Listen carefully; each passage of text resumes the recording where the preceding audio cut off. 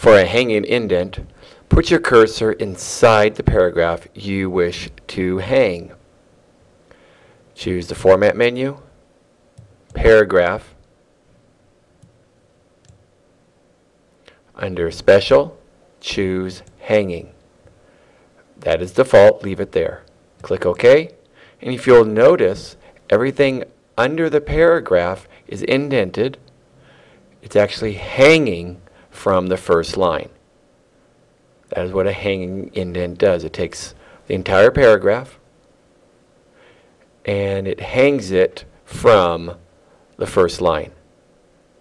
But the key here is to ensure you use word wrap when this happens. Put on show hide, you can tell that there are no returns here. Now watch what happens when I do not use word wrap.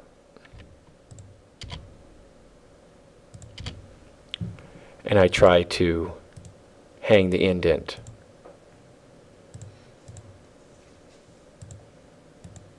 Nothing happens because it's trying to hang everything in that one paragraph. And Word considers everything before the return, the paragraph.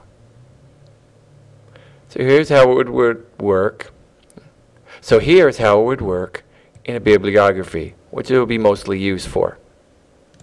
You'll notice I have the enter here, but I do not have an enter here. I just word wrapped it around. I just kept typing it and allowed Word to word wrap it around because it's one works cited.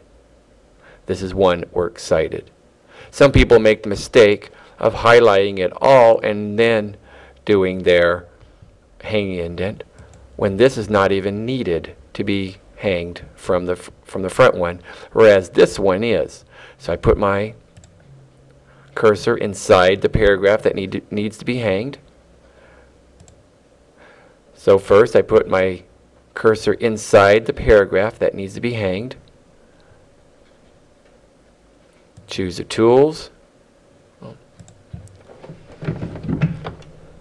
First, I put my cursor inside the paragraph that we're going to do a hanging indent on. Choose the Format menu, Paragraph, and then Hanging. Click OK, and it's done. When I put my Show Hide, you'll notice there's nothing there. If I were not to do this, and I were just to try to come in here with the Tab key, you'll notice it kind of messes everything up. Or if I were to hit the enter key here, then I'm able to hit the tab, but then it becomes very obvious when this clicks that the tab key was hit without using the hanging indent. And hanging in a hanging indent just makes it look much nicer and cleaner.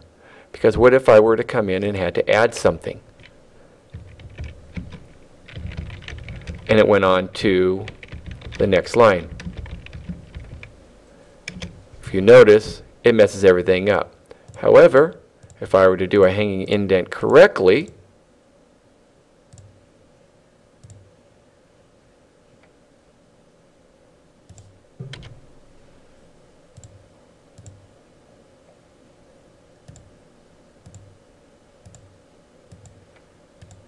and then started typing new things, and it went on to the next line,